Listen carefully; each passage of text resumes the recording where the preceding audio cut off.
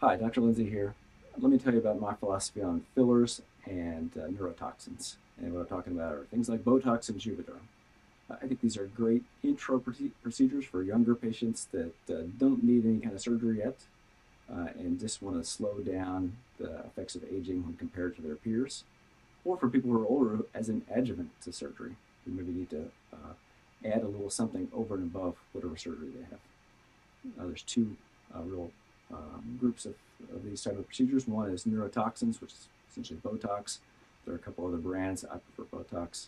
It uh, works consistently, and uh, it's relatively easy to place with minimal risk.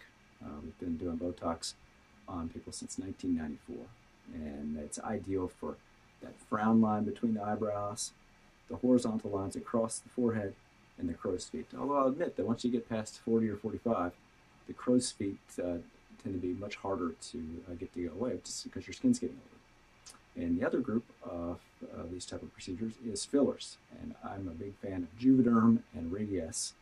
Uh, both I think are safe. They both have pros and cons, as we discussed at your appointment. But they're good for plumping up these lines or plumping up lips. Uh, I'm relatively conservative on all these procedures. I don't like the lip uh, very plasticky when you get done. Uh, so please come in and you can talk to uh, a patient coordinator who's had all of these procedures done, as well as see a number of before and after pictures. Uh, thank you.